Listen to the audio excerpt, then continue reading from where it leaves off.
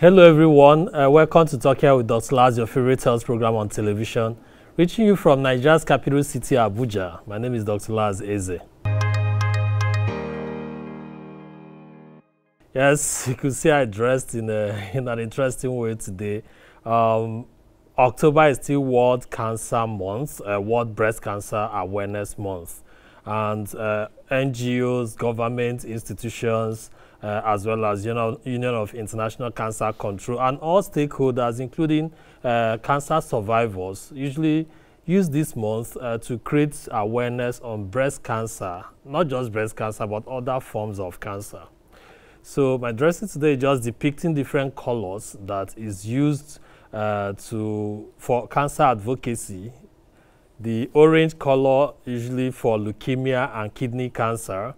Uh, of course, uh, this color you say blue or you know uh, blue for prostate cancer. You have different shades of that. Yeah, I'm, I'm going to uh, go through them uh, much later, but I just want you to know that according to the World Cancer Registry, GLOBOCAN Cancer Registry, Nigeria has every year over 115,000 cases of cancer. And out of that, most times over 80% don't get to make it. You know, they, they get to lose their lives to it. This is largely because uh, cancer in Nigeria usually diagnosed very late. So late diagnosis makes the prognosis uh, very bad, makes the treatment very much expensive, and also the survival rates very low. Of course, uh, five-year prevalence is uh, around 211,000.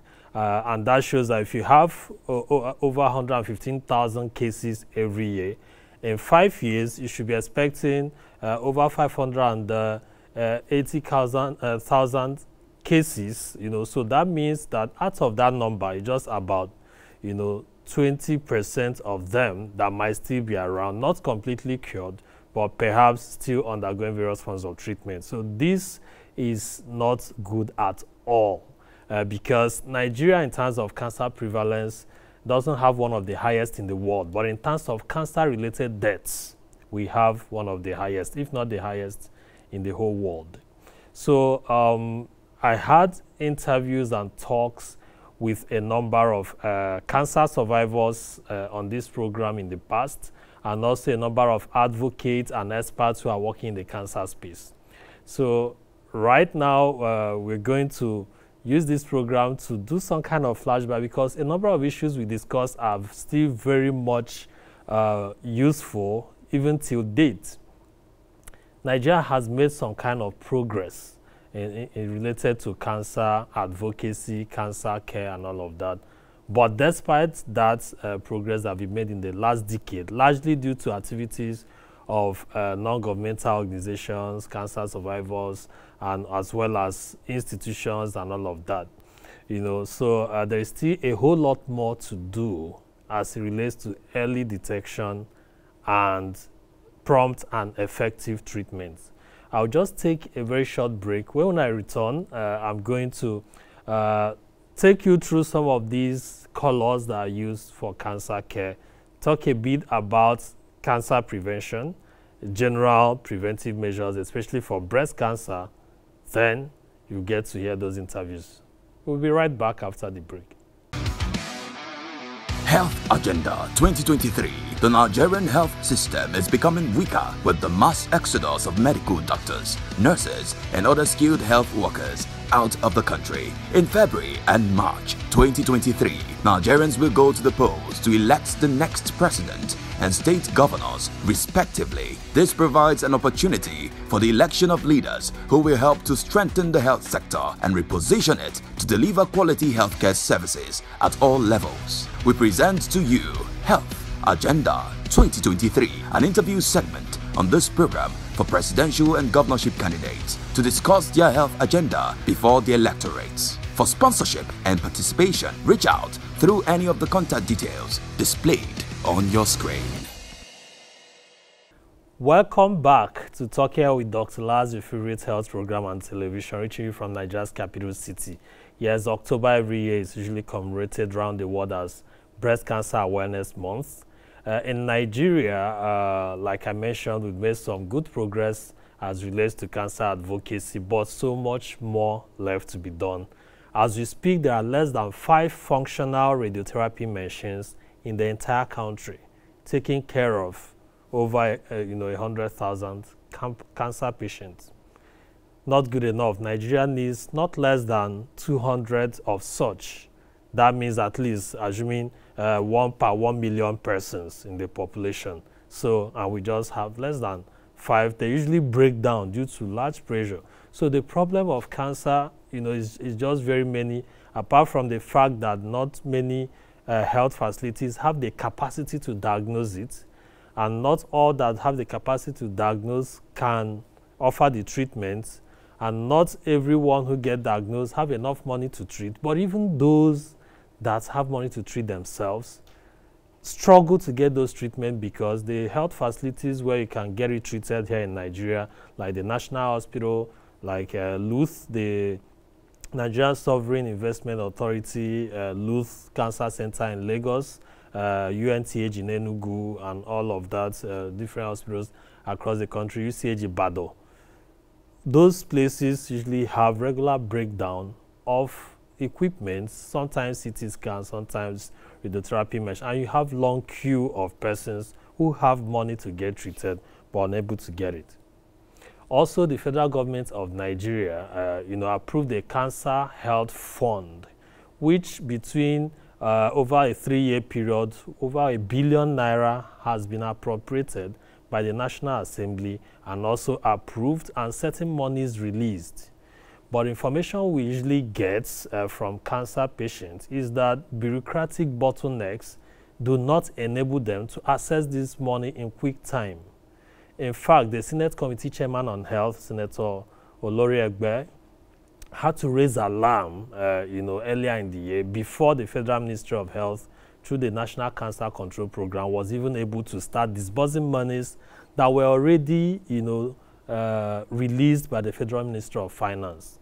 Usually when advocates ask questions about this money to some officials of the Federal Ministry of, Federal Ministry of Health, I beg your pardon, they get defensive and sometimes respond very angrily.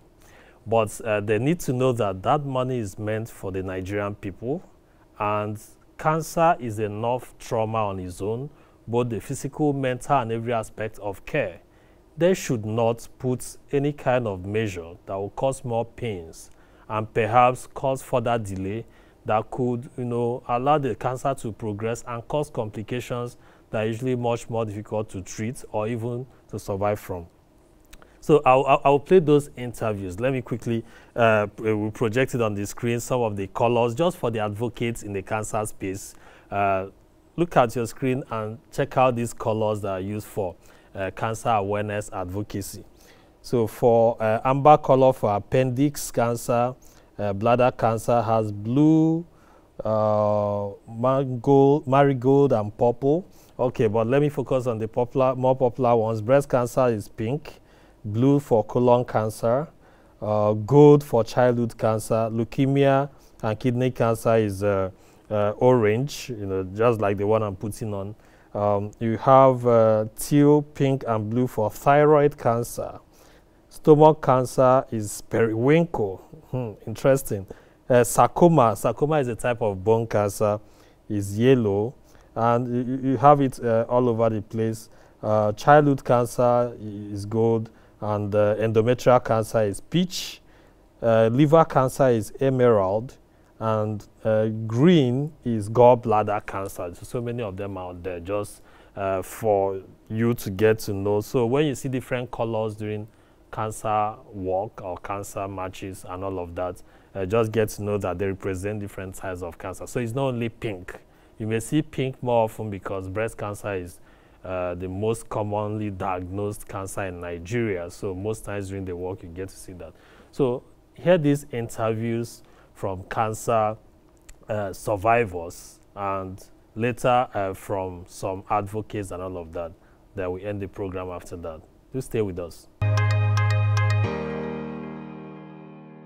2010, in June, I, uh, I was having my bath and I had, uh, I felt a lump on my breast. And I was like, what was this? Mm. Okay, actually it started in 2009. But um, December, and I went to hospital for that, and um, I did biopsy.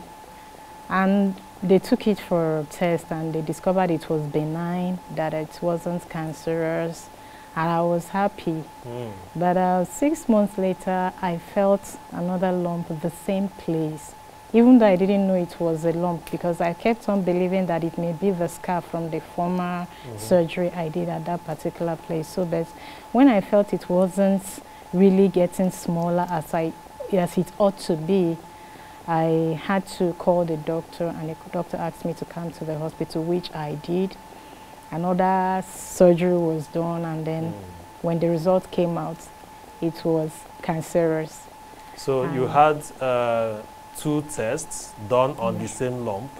No, on different. The second, I, they did it on the first lump. Then later, when the second lump came. On the same breast? On the same breast. Okay, so first so time they said it was benign. It was benign, Second yes. time, they now found it was malignant. malignant. Yes, Okay. So uh, when you saw, uh, got the news,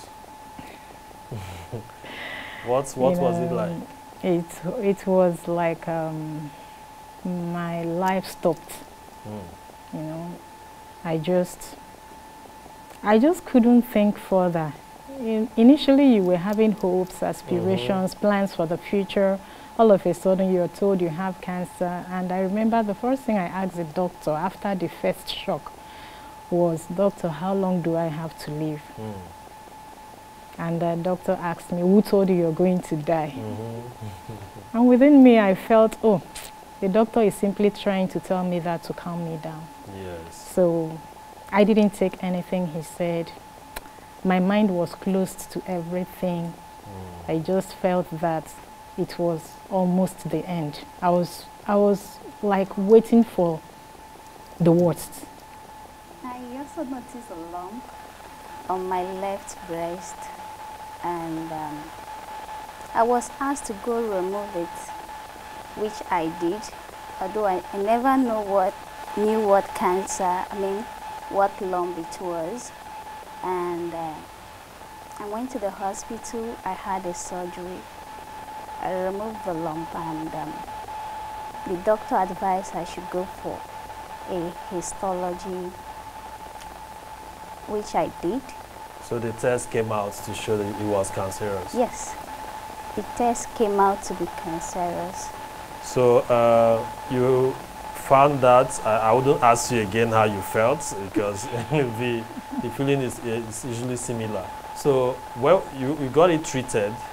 Where was your own treatment going Okay, I did my own treatment in National Hospital and that was in that was last year, June. I started June 13th, mm -hmm. 2009. So you've completed the treatment? Yes, I have. Okay, and you're very fine, right? Uh, of course, anyone that sees you know that you're, you're, you're very okay. Um, uh, Gloria, back to you. Um, you were also treated in Nigeria or outside the country? I was treated in Nigeria, National Hospital to be precise.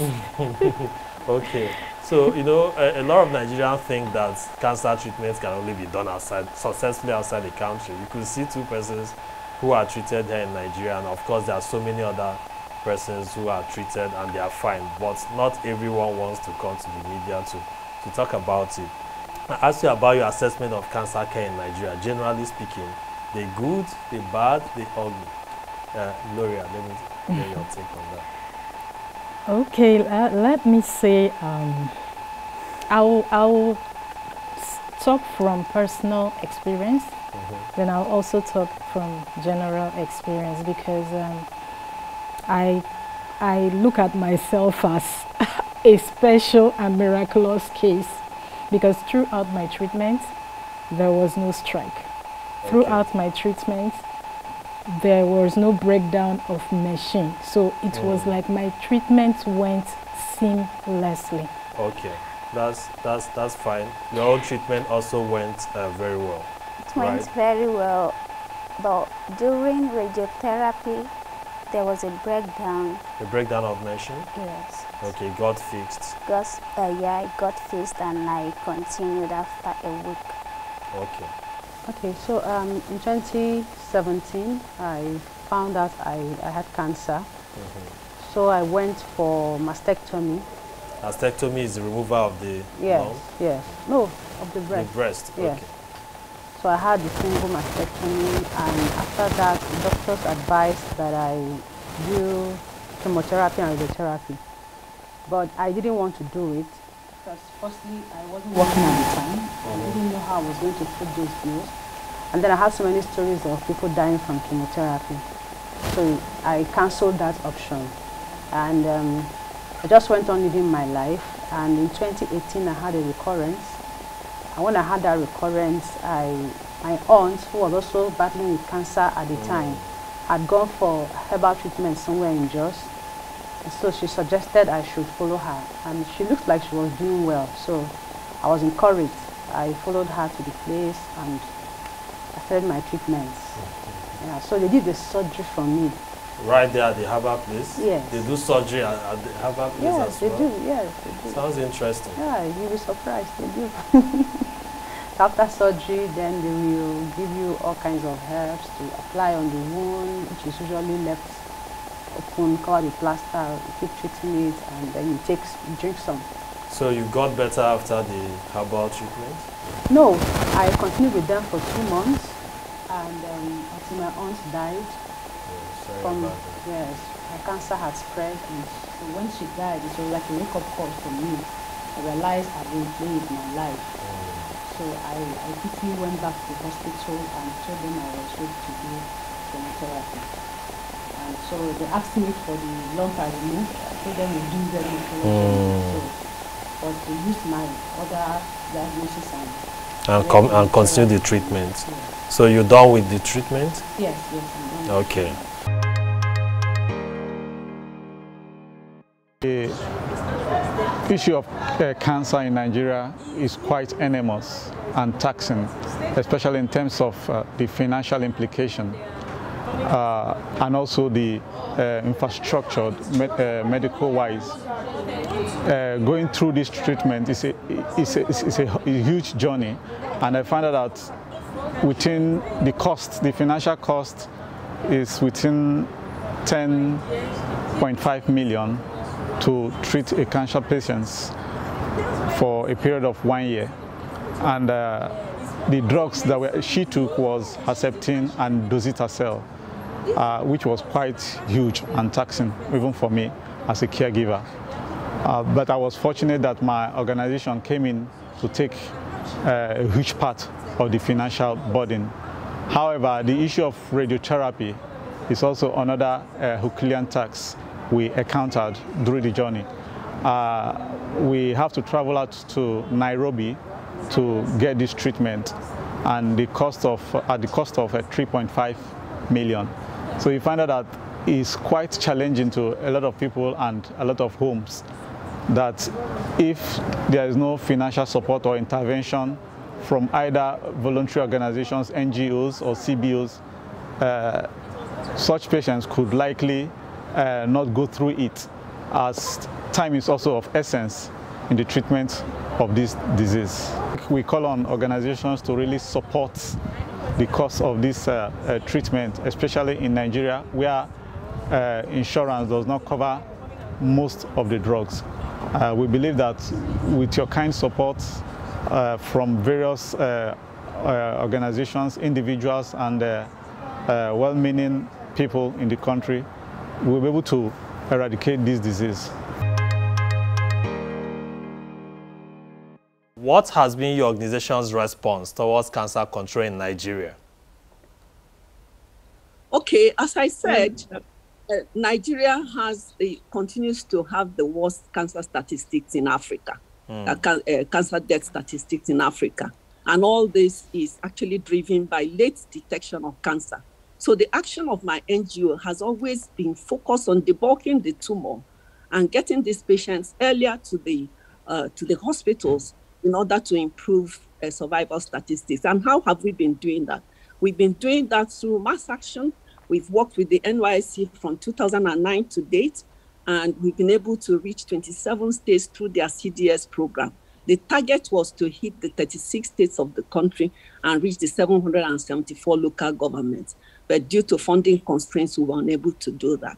Now in, uh, in Enugu uh, this year, we've instituted an action and mobilized 500 women, training them to become uh, women cancer advocates to move with us and also school clubs, uh, cancer control school clubs in secondary schools, and working with 34 different gender-based, non-gender-based organizations and professional groups mm. together, all hands on deck, create a mass action that should be able to reach the 17 local governments of Enugu State in the next one year. Okay. So, you know, riding up on what we have been doing nationwide, but focusing on the state to use it as a template to rid Nigeria of late detection of cancer, one state at a time.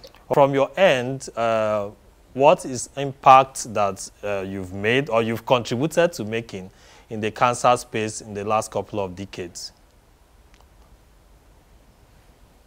Uh, um, thank you very much. For our organization, we've been around um, for less than two decades. So, but during that period of time, we've um, been creating awareness since 2015 um, through seminars, and um, information dissemination online as well, as well as um, uh, talking to women in the marketplace to create awareness um, within our locality when we were in a clinic, our clinic in Isolo, and um, now our clinic in Surulere, we go to Surulere and Mushin, local governments and environs to create awareness. And we've also been screening. We screened um, a thousand women last year for breast and were those screenings for free? Um, screenings and um, through through that screening, we, we were able to um, get cases earlier than they would have done if they hadn't come for the screening.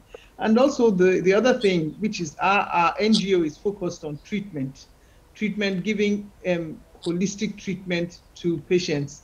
And we've, we've moved forward in that, in that our patients, when they come to us, we ensure that not only are we looking after their body, we're looking after their minds mm. financially, um, so that uh, to make the burden that is um, that they ha- come with a lot a lot lighter. Okay. So over the past five years, we've we've worked on um, treating patients. We have a program for financing okay. patients and then we also we have a counseling but by that uh, do you support patients on funding or do you treat well them free the well-being so that's what we, we have done in terms of pushing the needle, and we've seen the results um, in people actually having um, being caught early and people being treated for precancerous um, cervical lesions. Health Agenda 2023. The Nigerian health system is becoming weaker with the mass exodus of medical doctors, nurses, and other skilled health workers out of the country. In February and March 2023, Nigerians will go to the polls to elect the next president and state governors, respectively. This provides an opportunity for the election of leaders who will help to strengthen the health sector and reposition it to deliver quality healthcare services at all levels. We present to you Health Agenda 2023, an interview segment on this program for presidential and governorship candidates to discuss their health agenda before the electorates. For sponsorship and participation, reach out through any of the contact details displayed on your screen. Thank you very much uh, for staying with us and watching the program up to this point. It's still Breast Cancer Awareness Month. There's so much to do in the cancer space. You may ask, how do you prevent cancer? General well-being, you know, healthy food, exercise, and all of that. Annual checks, body checks, going to health professionals when you have any challenge, you know, no tobacco smoking, don't take tobacco at all. It's one substance that causes uh, cancer a lot, you know. And early detection, cancer affects every part of the body from head to toe, except the non-living part like the hair and the nails. So uh, if you detect early, like doing self-breast examination or mammography for those who can afford it, or pap smear for cervical cancer screening, and all of that, Detect early, please, it can be treated and is curable when detected early.